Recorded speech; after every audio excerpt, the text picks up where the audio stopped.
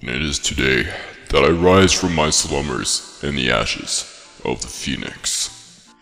Hello there, everybody. This is Questionable Gamer here, aka Brandon, and we are back with another episode. Finally, um, it has been a pretty long time. Last time I recorded this was probably back in February, maybe it might have been March. Um, yeah, so quite a quite a ways uh, since I recorded. The last episode was probably um, uploaded just shortly after this or before this. I mean, not gonna upload these in weird orders.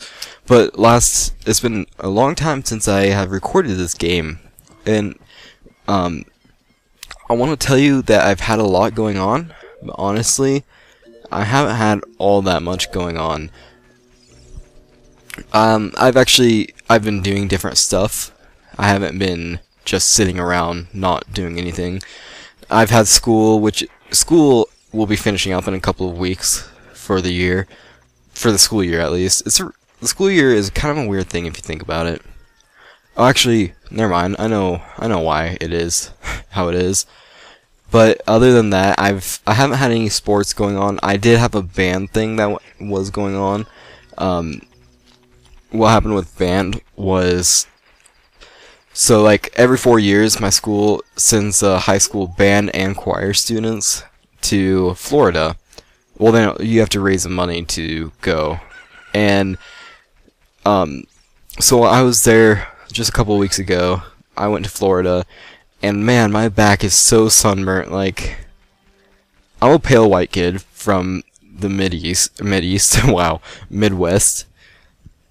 So you can imagine I sunburnt pretty bad. Like my skin is peeling hardcore.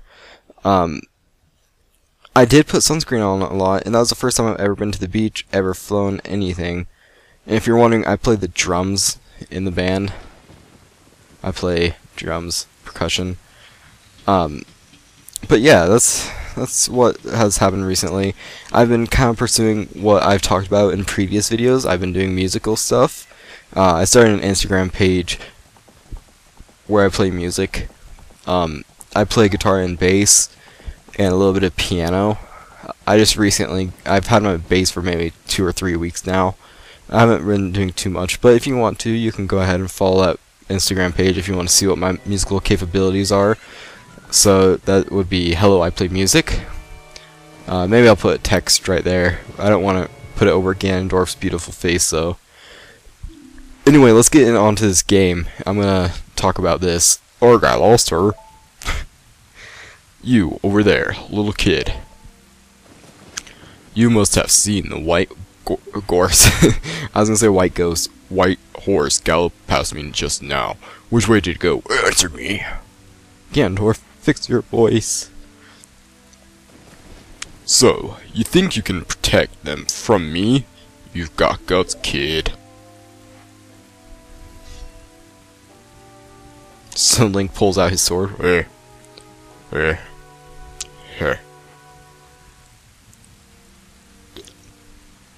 You want a piece of me? Very funny. I like your attitude. Oh shit, man. No, this game stands out so much. Like, for the era that I was in, like, I'm gonna compare this to PlayStation 1, because that's, they're the same time era. Time era? Whoa. Do you realize who you're dealing with? Let me do it after this cutscene, because I'm not picking a good time to talk about this. Okay, here's a little bit better of a time. Anyway, so Ocarina Time made in 1998. Um, it stands out so much more than like PS1 games for the time. Like here, I was playing a PS1 game earlier today, one from my childhood that I had not that not many people probably played really. And this game came out actually three years uh, after Ocarina of Time. Um, the game is Scooby-Doo Cyber Chase. Like, I know it's not a AAA title, but the game was made in 2001, and the graphics are not the best. Like, comparing it to Ocarina of Time, it has so much, like, more, like, imperfections. It's, it's kind of a fun game. It's a child's game. Like a little, designed for little kids. But when I was a little kid playing it back in like second grade, first grade, um, it was really difficult for me. Like I didn't understand it. Also, I couldn't read very well back then, so that was probably one of the reasons that I had trouble. Because that game was kind of one that I, I don't know. I only played it like once at my friend's, and he ended up giving it to me, because he was kind of he was kind of a rich kid compared to me. Like my parents didn't have the best income at the time. Um, but his parents they owned a business and I think helped with daycare or something like that. Anyway, we just learned the Song of Time. This song is it's not as helpful in this game as it is in Majora's Mask, but it still it still helps quite a bit. Um, it's more of like a story progressor and song filler, I think. Because like if you don't have if you don't have this song, there'd just be like a blank space. And no, not the Taylor Swift version. Honestly, it feels weird getting back into this, but it seems like it wasn't that long ago that I recorded. Because I don't know.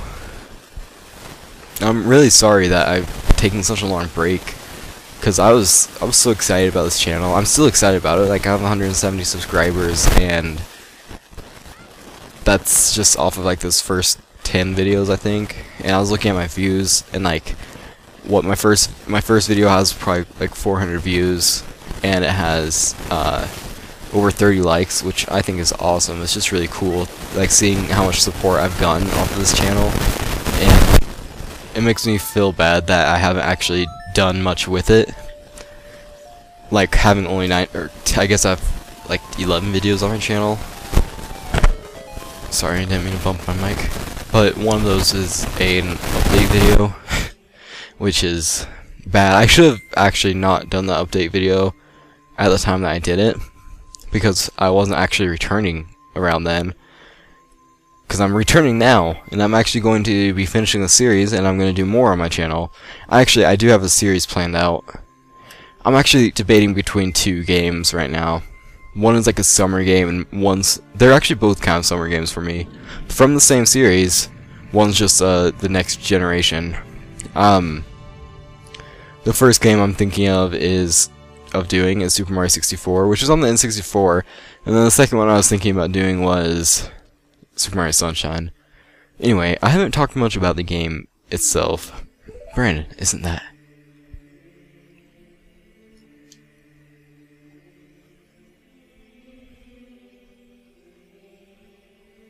It's it's that legendary blade. Oh my Master Sword. The Master Sword. Yeah, don't want it. That'd be so awful. Step into the light. This always looked... No, I'm gonna use this as like a thumbnail or something. If I could get a good view on it. This place... I used to have dreams of this place when I was a kid. I used to have dreams that, uh... I was playing this game. And I was going to... I was in... I was in the Temple of Time, which we are at right now. And I came in here. And this door shut behind me. And I had the... The Master Sword was out of the pedestal, but I didn't actually have it and if I paused the game, um, like the game would continue and there were re-deads inside of it and they kept attacking me. It was a scary dream as a little kid. Oh. Bow, bow. Yeah, that not work. No, you have pretty eyes, Ganondorf. Too bad you had your hair tattooed to your body. it really looks like that. It looks like he just put a sticker on his face. He's like, I don't actually have earring or earrings. I was looking at his earrings when I was saying that. I don't actually have hair, so I better put a temporary tattoo on. That's like one of those temporary tattoos that you get on. funny story. Um, kind of funny. I think it's funny. One time in cross country, I have this. We had this friend, and he fell asleep on the bus headed back. So, and we, like, after we had eaten at like Pizza Hut or something like that, and they have temporary tattoos. So we like bought one with like 50 cent tattoos and then like a bobcat one and we like walked out or while he was sleeping we like I don't know I think we just had water with us and we like wetted the temporary tattoo and put it on his leg. And then we convinced him, we were trying to convince him that he put that on and then fell asleep. it was really funny. But he eventually figured out that we put on him. Anyway, I'm Rauru, one of the ancient sages. Ages ago, we ancient sages built the Temple of Time to protect the entrance to the sacred realm. This is the Chamber of Sages inside the Temple of Light. The Temple of Light, situated in the very center of the sacred realm, is the last stronghold against Ganondorf's evil forces. He does kind of look like an old redneck. Master Sword, the evil destroying sword that you pulled out of the pedestal of time, was the final key to the sacred realm. Brandon, don't be alarmed. Look at yourself.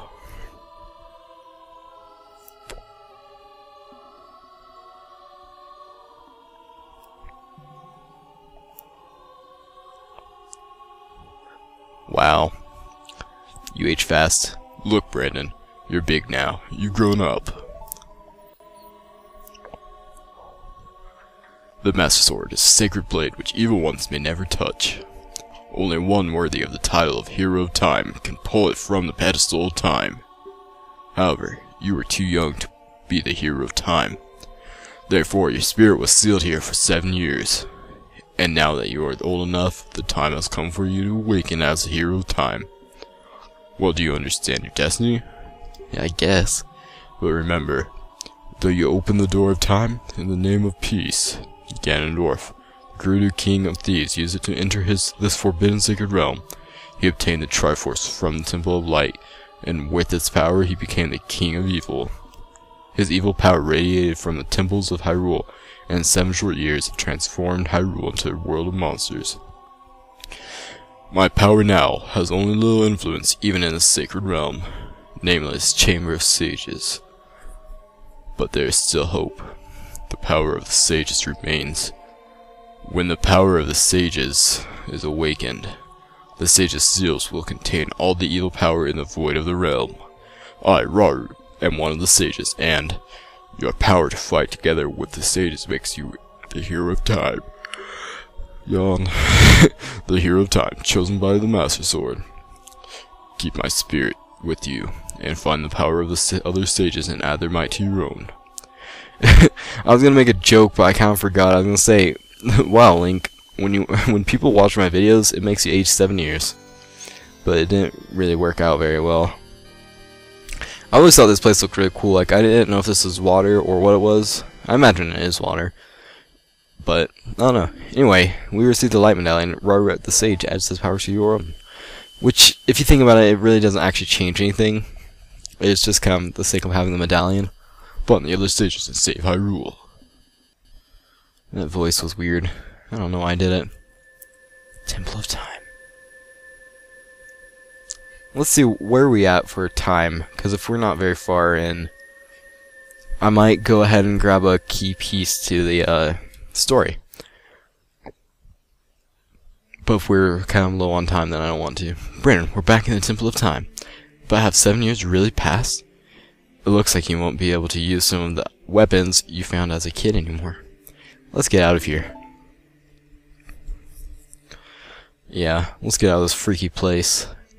Link, you have some skinny legs. Sorry, my th throat decided to be weird. Beautiful. I've been waiting for you here all the time.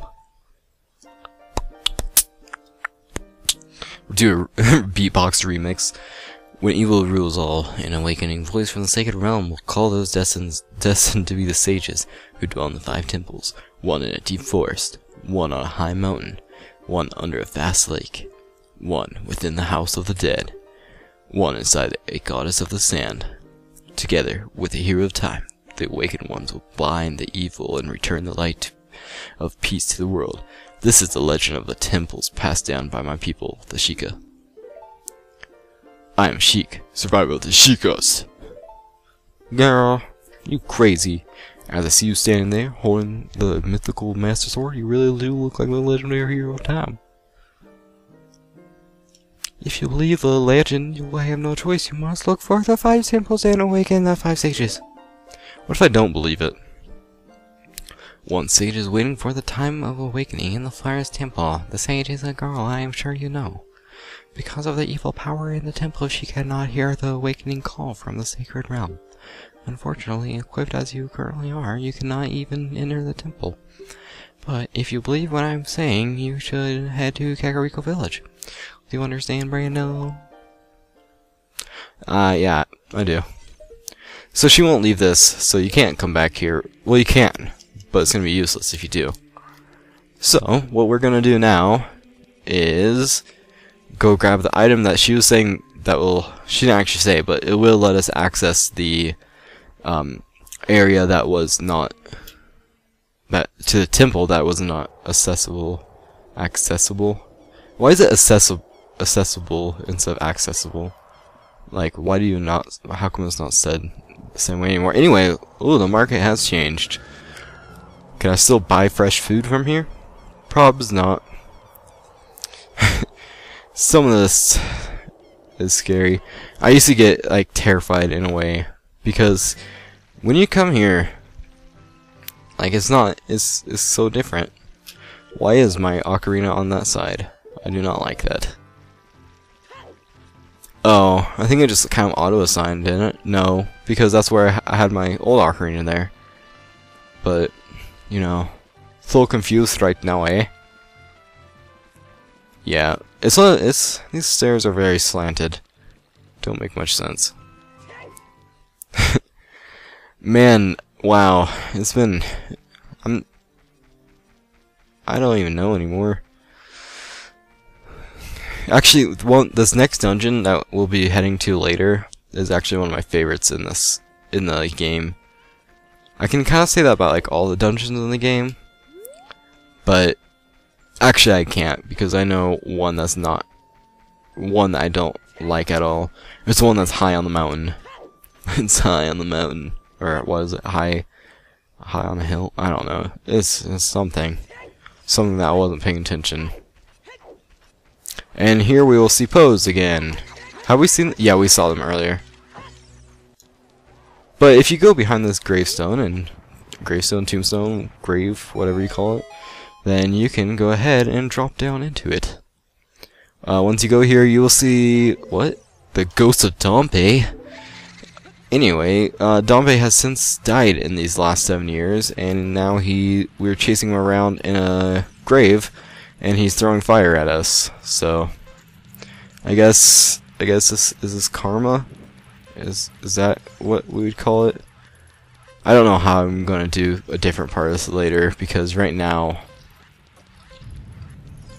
actually, damn it, Dampé, throwing your fire around. Uh, actually, yeah, we do have to come back here later for a heart piece. Um, and if we get this under a minute, then you we will actually get the heart piece. It's not actually all that difficult, at least on the N64 version, because everything controls so much smoother. But even now, you can kind of see it's it's not that bad. Like, we'll come back here later. We have to get under a minute, but we'll have a certain item by then that allows us to uh, that allows us to get here a bit more on time. So just funny positioning. We're going to talk to him right here. The time of this race was 105. Hee hee hee, young man. You were very quick to be able to keep up with me. As a reward, I'm going to give you my treasure. It's called the hook shot. Its spring-loaded chain will pull you to any spot where its hook sticks. Doesn't that sound cool? I'm sure it will be helpful to you. I live here now, so come back again sometime. I'll give you something cool. One more thing. Be careful on your way back.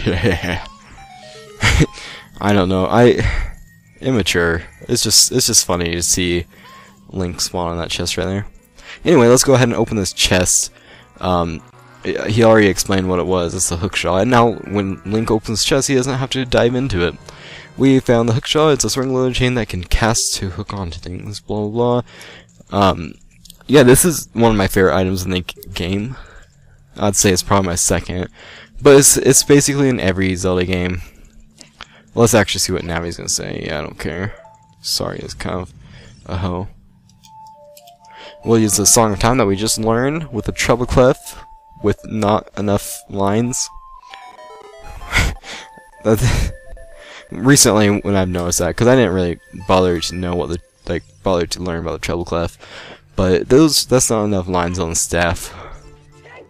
Anyway, uh, there's actually one last thing we'll grab here. Wait, actually, I think we can learn something too while we're here. So there's more in here than than it seems like there is. So there's a heart piece right here.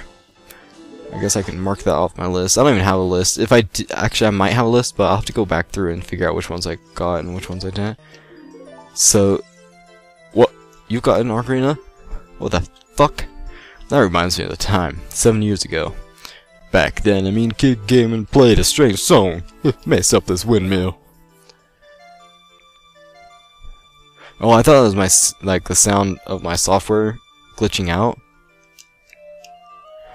but it was just just the sound of the music box that he plays that he plays he plays. anyway, we just learned the song of storms, even though it hasn't told us yet. You've learned the song of storms. Yeah, it just controls weather, makes it rain and whatnot, which actually it'll be useful for a part in this game later. Anyway, um, I this is gonna be the end of the episode. Thank you everybody for coming back and watching me even after these what like four months, basically four months of me being gone. Uh, thank you all for watching, and I'll see you in the next episode. Goodbye.